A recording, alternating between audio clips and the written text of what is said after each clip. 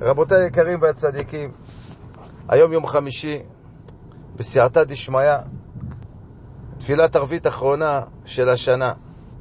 אני ממליץ לכל אחד, מי שיכול, להתפלל בדבקות. ומה זה בדבקות, רבותיי? להבין את משמעות המילים. לאט לאט להתפלל. ברוך אתה השם אלוקינו ואלוקי אבותינו, מילה במילה, אלוקי אברהם, אלוקי יצחק. בסייעתא דשמיא, אדם שעושה את זה ויצליח לעשות את זה, כי היצר לא ייתן לו, אבל אם הוא יצליח, זכה שכל התפילות, של כל תפילות הערבית שהוא התפלל עד היום, עם כל מיני מחשבות וכל מיני שטויות, יכולים לעלות מעלה-מעלה ולהוריד לו שפע גדול. כך גם בתפילת שחרית של מחר, להגיד מילה במילה, לא למהר, פעם אחת לא למהר. פעם אחת לא להיות כמו מיקרוגלים, להיות לאט לאט.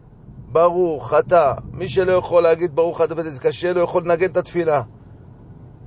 כן, למשל, אפשר לקחת את הניגון הזה, ברוך אתה השם אלוקינו ואלוקי אבותינו, אלוקי אברהם, אלוקי יצחק ואלוהי יעקב, האל הגדול, הגיבור והנורא, אל עליון גוב...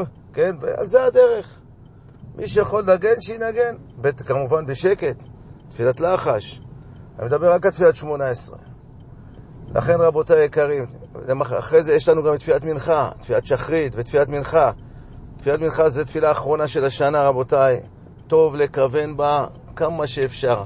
אני חוזר, יצא הרע לא ייתן לכם, אבל תשתדלו לכוון כדי שכל התפילות יעלו מעלה-מעלה ויורידו לנו שפע גדול, שפע של קדושה, גם לעולם וגם לנו. כל מי שעוזר, כל מי שעוזר בעולם המלכות הזה להוריד שפע של קדושה, מידה כנגד מידה יורד עליו קדושה וטהרה וחיים טובים ושפע גדול. יהי רצון שנזכה להתפלל את התפילות האחרונות כמו שצריך, בדבקות, לאט לאט. חזק וברוך רבותיי.